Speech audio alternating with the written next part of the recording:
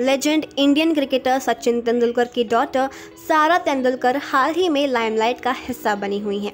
बता दें कि सचिन तेंदुलकर की बेटी होने के बावजूद भी सारा मीडिया से दूर ही रहती हैं, लेकिन फिर भी वो लाइमलाइट का हिस्सा अपनी ग्लैमर और अपने फ़ैशन चॉइसेस की वजह से बन जाती हैं। बता दें कि सारा का मराठी लुक हाल ही में काफ़ी वायरल हो रहा है, जहाँ सारा ने मिनिमल गोल्ड नेकलेस पहना हुआ है और नावरी साड़ी के साथ उन्होंने भ्रामी नथ पहनकर अपना लुक कंप्लीट किया है।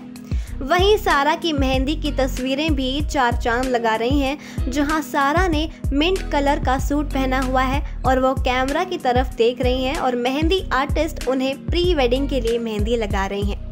जैसे ही ये तस्वीरें सामने आई, सभी को लगने लगा कि सारा की शादी हो रही है। लेकिन बाद में उन्होंने एक पिक इंस्टा पर स्टोरी पोस्ट की है, जहाँ उन्होंने अपनी बहन के साथ फ़ोटो खींची और लिखा my sister is getting married और फैंस ने ग्रिश्मा और सारा की तस्वीर पर बेहद ही प्यार दिखाया है।